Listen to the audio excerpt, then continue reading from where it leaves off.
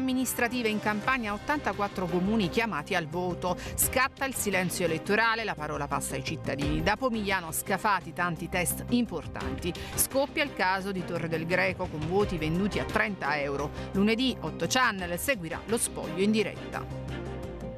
Lite per motivi economici, tragedia sfiorata a Napoli. Avrebbe spinto la compagna giù dal balcone dell'abitazione nel centro storico di Napoli. Un uomo è stato arrestato dalla polizia per tentato omicidio. Alla base dell'aggressione una richiesta di soldi. Bandiere blu il Cilento fa incetta di premi. Con 19 riconoscimenti la Campania si posiziona al terzo posto in Italia per la qualità delle acque e la tutela dell'ambiente. 5 i Vessilli in provincia di Napoli, ma è la costa sud a dominare la classifica regionale. Il gran rifiuto di Fuertes rischio caos al San Carlo. L'ex amministratore delegato della RAI dice no al ruolo di sovrintendente del teatro napoletano. Pesano le polemiche per il pensionamento anticipato di Lissner. Manfredi assicura garantiremo l'autonomia dell'istituzione culturale. No ad altro cemento, polemica ad Avellino. I nodi della pianificazione urbanistica. Per Lega Ambiente è necessario un cambio di rotta nelle politiche di sviluppo. Appello al sindaco Festa a puntare su un nuovo PUC che preveda rigenerazione urbana e meno consumo di suolo. Reperti archeologici, il progetto va avanti. Per il comune di Benevento i tesori riportati alla luce durante i lavori di piazza Cardinal Pacca non metteranno a rischio il cantiere che prevede la realizzazione del front office turistico, ancora critiche dall'opposizione. Buongiorno dal TG di 8 Channel, in primo piano le amministrative. In Campania 84 comuni al voto, non mancano le sfide significative, polemiche a Torre del Greco sulla presunta compravendita di voti, il caso finisce in procura. Mancano poche ore all'appuntamento con le urne con migliaia di elettori chiamati al rinnovo dei consigli comunali.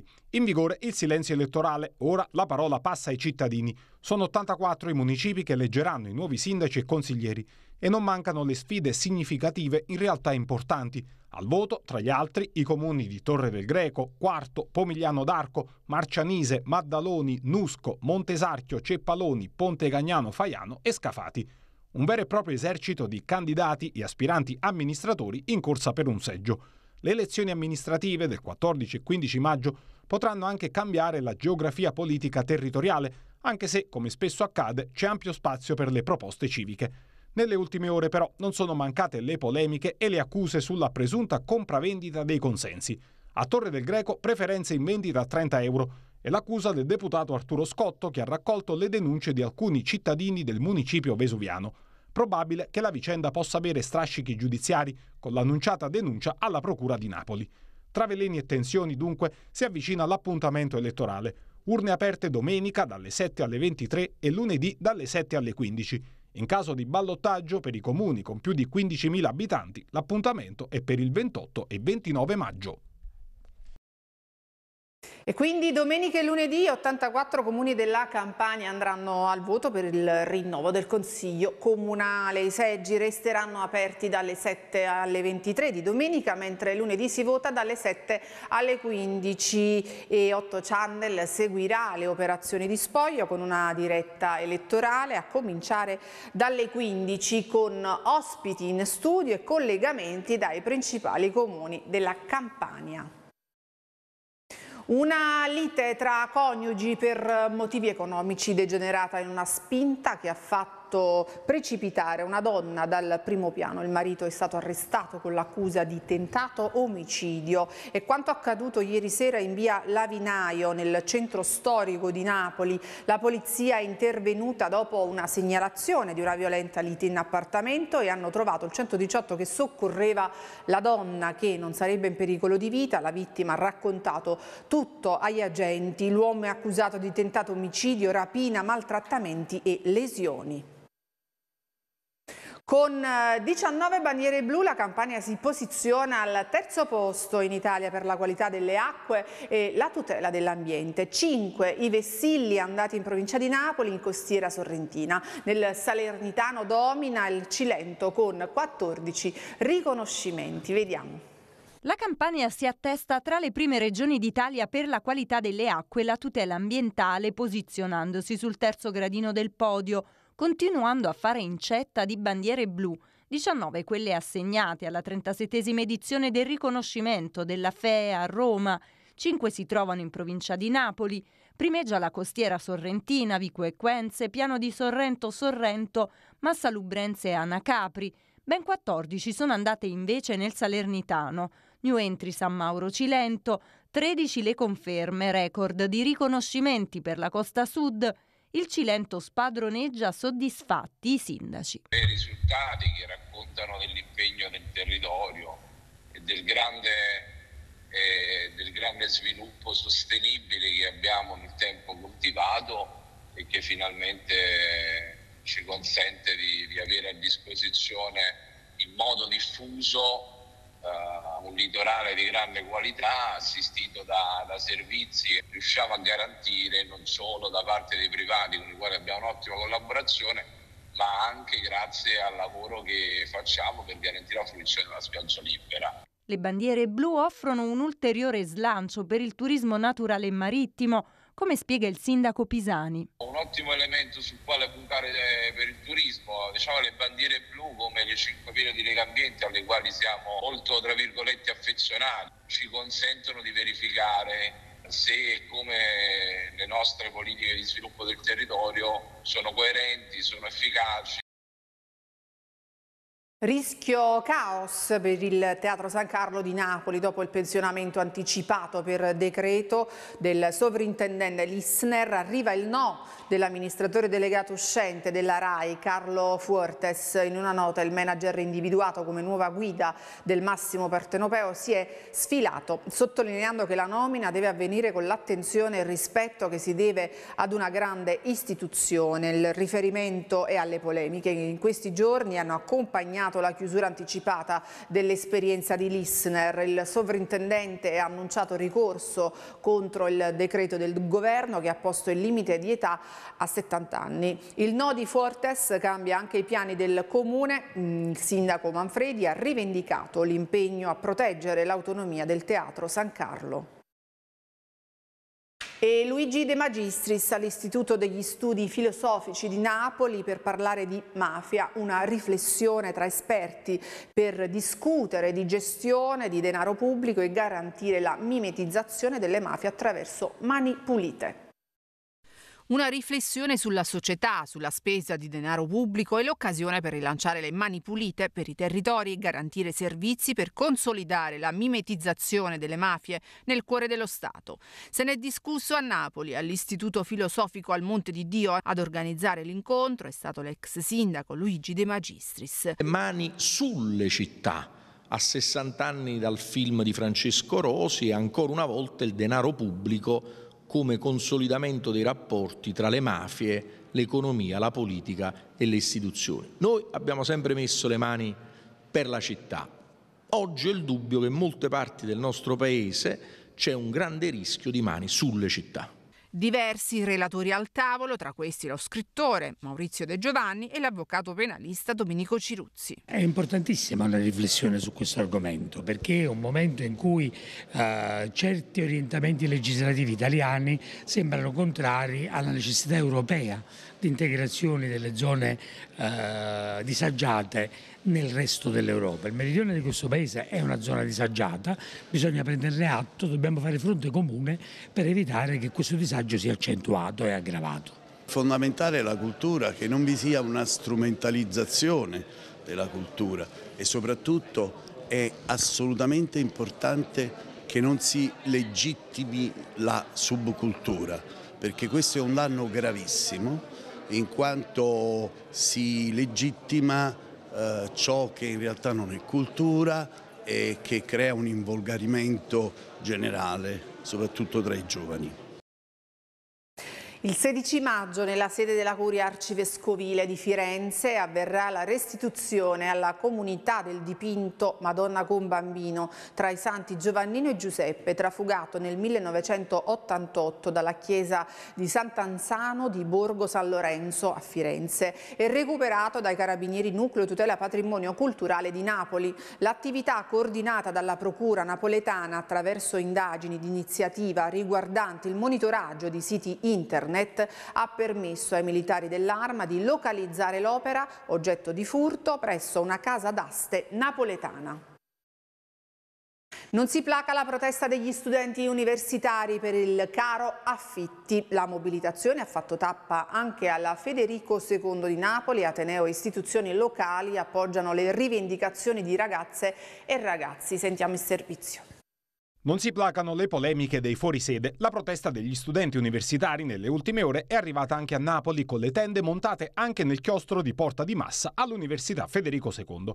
Ragazze e ragazzi contestano i costi esorbitanti per gli affitti. Anche per alloggiare in un buco paghiamo 300 euro, hanno spiegato nel corso della manifestazione. I rincari non hanno risparmiato gli affitti minando il diritto allo studio. L'Ateneo Federiciano si è schierato al fianco degli studenti. Trovo che la protesta sia garbatissima divertente e soprattutto fortemente sensata. Il problema dell'assenza di strutture adeguate ad ospitare studenti fuori sede e il problema del caro affitti complessivo è un problema reale che danneggia naturalmente in primo luogo gli studenti, limitando fortemente il loro diritto allo studio, ma che danneggia in realtà anche gli atenei. Anche le istituzioni locali hanno appoggiato la protesta. Il sindaco Manfredi ha chiesto di limitare i B&B nei centri storici che sottraggono alloggi a chi ne ha bisogno. Dure accuse contro il governo sono arrivate dal presidente della Campania, Vincenzo De Luca. Abbiamo una situazione paradossale. Da 14 mesi avevamo chiesto al governo l'approvazione di questi progetti. Da 14 mesi il Ministero dell'Università non dice nulla. I nodi dello sviluppo urbanistico ad Avellino, troppo cemento in città, denuncia Lega Ambiente, Festa pensi seriamente a un nuovo PUC che valorizzi la rigenerazione urbana e il consumo di suolo zero.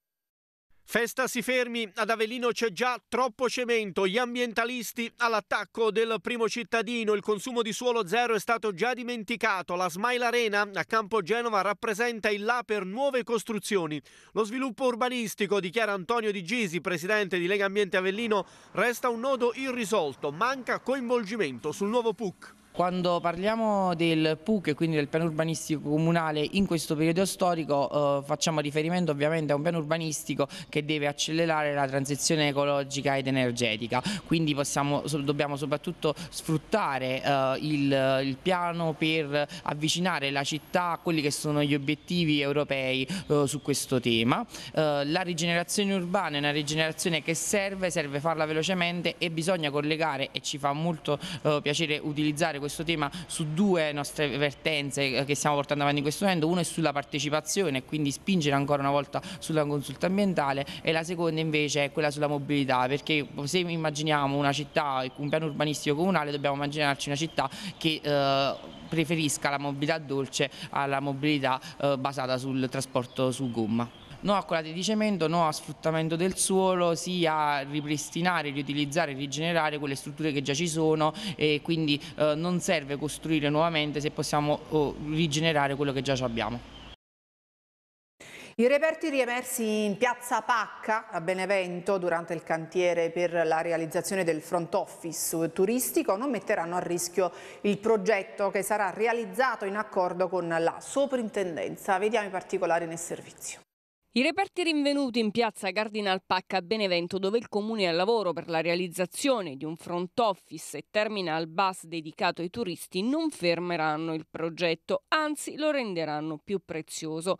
Parola del vice sindaco e assessore ai PIX del comune di Benevento Francesco De Pierro che sgombra il campo dalle ipotesi di un'eventuale perdita del finanziamento del progetto PIX. Ci siamo confrontati serratamente con la soprintendenza, uh, stiamo naturalmente riflettendo riflettendo su come diciamo, portare a termine anche questa progettualità PICS del front office turistico, probabilmente sulla scorta di quello che è già accaduto per la città dei Santi, vale a dire ci verrà una pavimentazione in vetro che metterà in risalto anche con degli effetti illuminotecnici questi reperti. I saggi della soprintendenza hanno finora riportato alla luce quelli che si credono i resti dell'antico monastero di San Pietro alle Monache e altri interessanti elementi come superfici a mosaico probabilmente di epoca medievale e alle critiche di una scelta inconsapevole De Pierro ribatte. Sapevamo che quello fosse un sito particolarmente importante, tant'è che nel progetto economico avevamo stanziato circa 70.000 euro per gli scavi. Ho ascoltato talune polemiche abbastanza sterili che poi quello sarebbe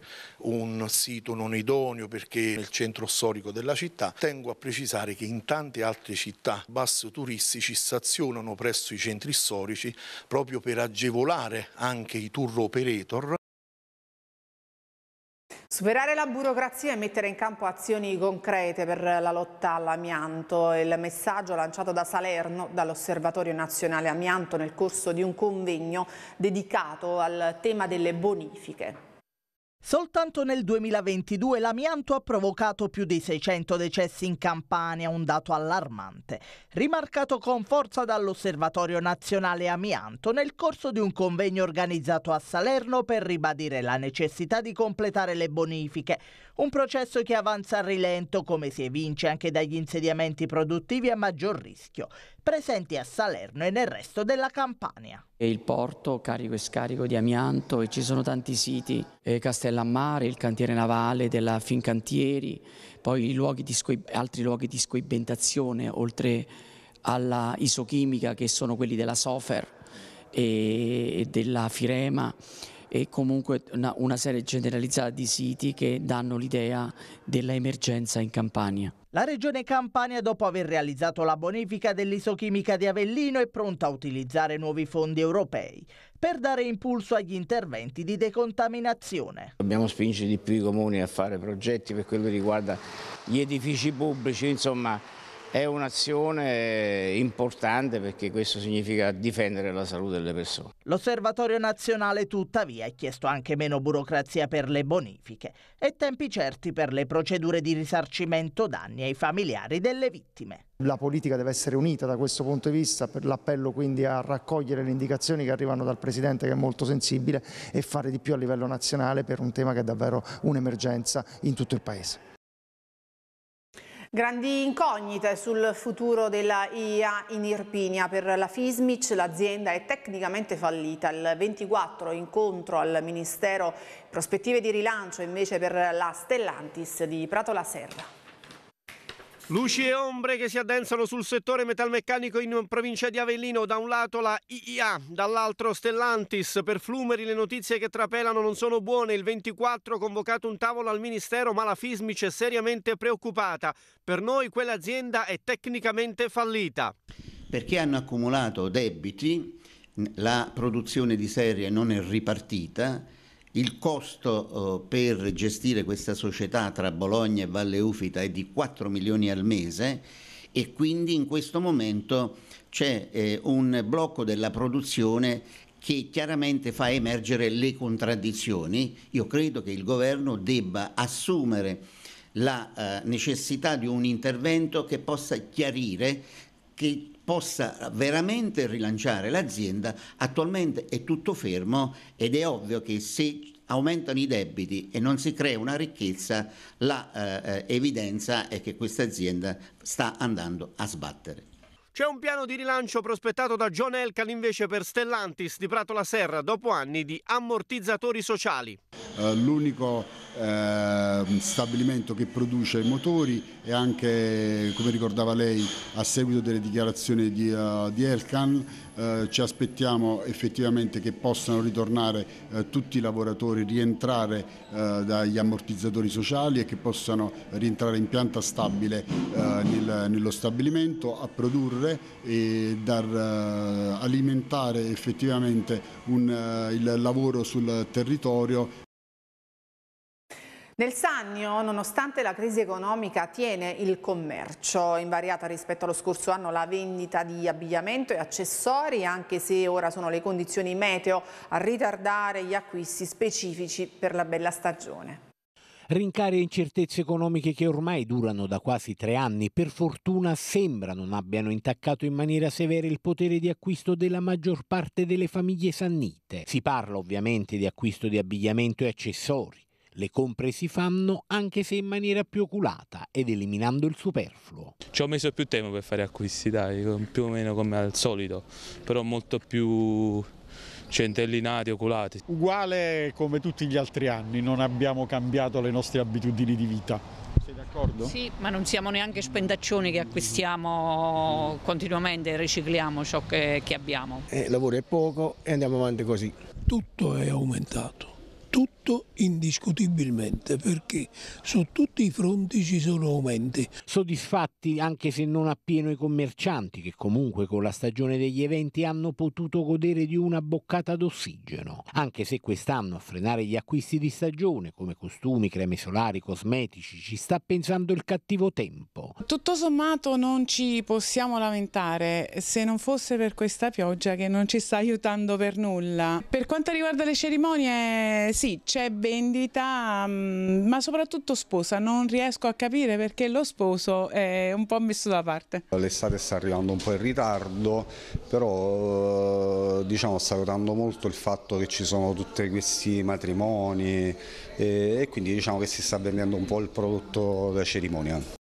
La pazza gioia per lo scudetto del Napoli, festeggiamenti senza fine in Irpinia nelle aree interne. In centinaia a Grotta Minarda anche dai comuni limitrofi nei giardini De Curtis.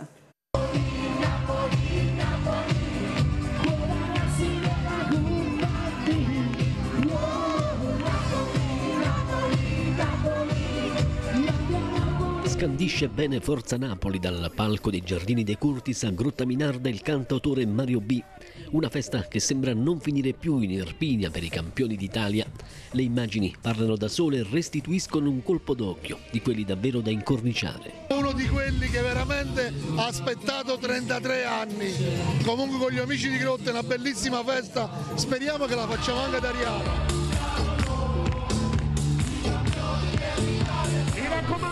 Purtroppo sì, però meglio aspettare e vincere gli scudetti in maniera uh, onesta e leale sul campo che fare altre cose. Quindi io mi godo questo scudetto meritatamente vinto sul campo.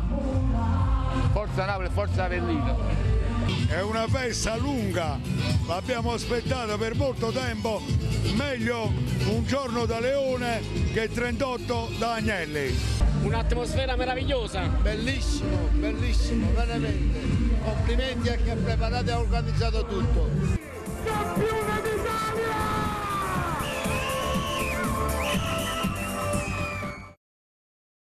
Ed era l'ultimo servizio, il TG termina qui, io vi ringrazio di averci seguito.